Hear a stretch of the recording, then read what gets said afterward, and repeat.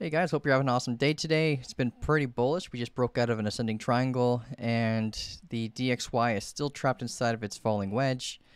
Um, and Ethereum as well just broke out of a ascending triangle as well. Um, and I'll keep you up to date with the Energy Web Token trade that I'm doing as well. Um, but it, before that, we're just going to jump into the profit flexing for the community really quick. So we got Thesis himself, 27, yeah, 27% gain with 20x leverage um, 102% gain longing XRP with 20x leverage, shorting XRP for 10% gain with 20x leverage. Um, 73 uh, thesis himself again 73% gain um, shorting XRP with 22x leverage. Rando uh, 73% gain 20x leverage longing XRP. Rando again shorting Link 14% gain 20x leverage and 10% gain shorting Link and 9% gain shorting link. Um, awesome job. And Chris LC, 374% gain, 100x leverage. And Thesis, again, 106% gain, 30x leverage. And then lastly, Chris LC closed more of his trade for 584% gain with 100x leverage. All right. Awesome job, guys. So let's jump into the charts, see what we can expect next. And yeah, we'll go from there. All right. See you on the inside.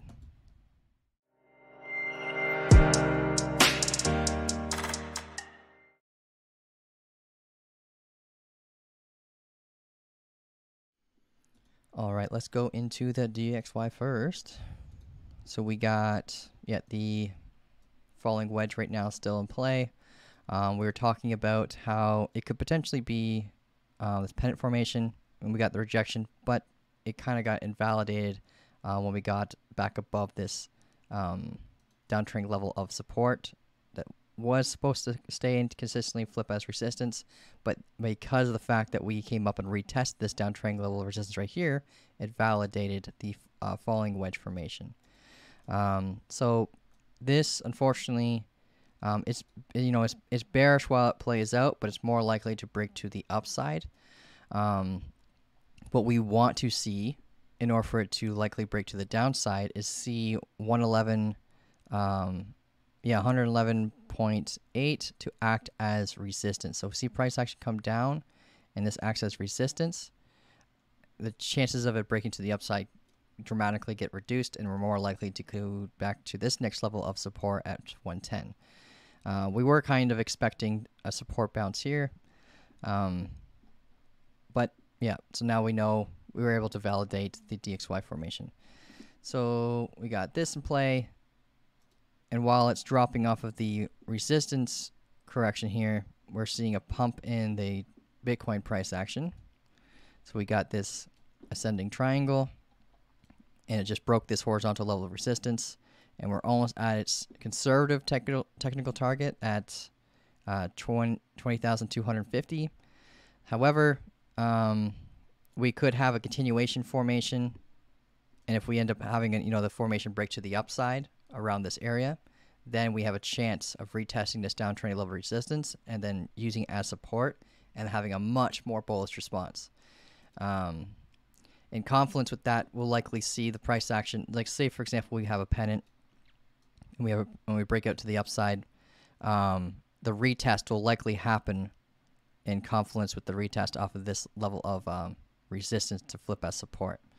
Um, so depending on how the price action develops, that's that's basically how I visualize it playing out in, a, in the bullish way. If we have to get rejected though, then obviously we'll just wait for the next formation for us to find another trade. Um, let's take a look at yeah the daily chart for Bitcoin really quick. So this is the downtrend level resistance that we're tracking right now. If we have, the, have if we know if we see a support bounce off of this, then I'm definitely going to be entering quite a bit into a long position and then preparing for potential resistance right here at this neckline for this potential double bottom formation. Um, so this would act as an earlier entry for a potential larger bullish response. So if we end up seeing this act as support,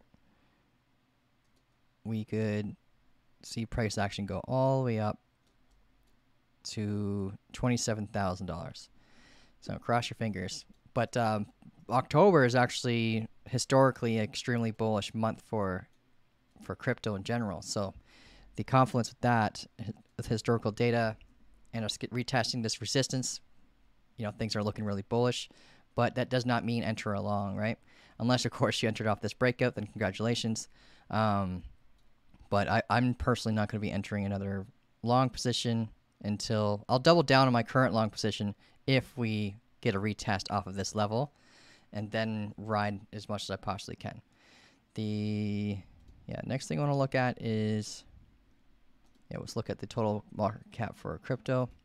It's starting to have a rounded bottom. Good, it's a good sign. It's a bullish, uh, bullish sign. So we could see us, you know, if we get back above this level of interest right here, we can slip into the valley and start seeing extreme amount of like volatility, bring us to a 1.02 trillion market cap again. But this is the daily chart, so it'll take a few days for that to play out, um, probably a few weeks. So we got that, which is bullish. So everything's looking bullish right now. And let's go over to the Energy Web token really quick. So yesterday we were talking about how we have a potential like 15% move. Um, so if we entered off this long position, we it pumped up 5% in a basically in a single candle and closed a portion of it here after we broke this um, level of support. And I didn't close all of it because I was hoping for a retest. We got a really strong retest. We slipped back into like the formation a little bit, but we got a really strong retest. Um, so we can double down on the trade if you'd like, if you're in a trade like this. But um, just make sure, you know, you're willing to lose it all, right? Uh, my stop loss is still in place at around, uh, yeah, three dollars and sixty-four cents. And now that we had this confirmation bounce, I most likely will move my stop loss up a little further. And I've added to my position, so this isn't my average anymore. Um, I added it during the this candle close. So my average is probably roughly around here. But I'll have to double check the exchange just for that. Um, but yeah, that's what I'm looking at right now for Energy Web Token. I'm still in it. Uh, I, I did it via spot because of the fact that I would be risking about a 4.53% gain, so I didn't want to use leverage on that. There's no point of multiplying your losses, right? If you end up getting a loss, um, because the gain's well worth it. Not you don't need leverage for that kind of gain. Um, all right, so that's oh, looking into PineScript. Sorry. Yeah, that's pretty much everything, guys. So just I would keep your eye out on the DXY for any potential um, short positions. So if we end up seeing a breakout of this downtrending level of resistance, the technical targets will wait back up here at um, 114, right? And we have this level of um, resistance right here as well. This is the technical target. So if we end up seeing a breakout of this, um, just prepare to see some uh, really bearish price action in the Bitcoin chart. So if you're in a long position, you might have to close your long in response to this breakout. Um, or you could prepare a short. Not financial advice, but um, that's what I'd be doing, especially if there's confluence in the chart. If we're meeting resistance here and we get a breakout here, then it's it's screaming at you to tell you to uh, enter a short. Um, but yeah, that's everything I got for you guys. Just be safe trading on the weekend. Um, the volatility is usually really unpredictable. Support levels, resistance levels aren't honored as much during the weekends. Um, so if you're a weekend trader, just be safe. And yeah, that's everything I got for you guys. And have yourself an amazing day. Thanks for watching.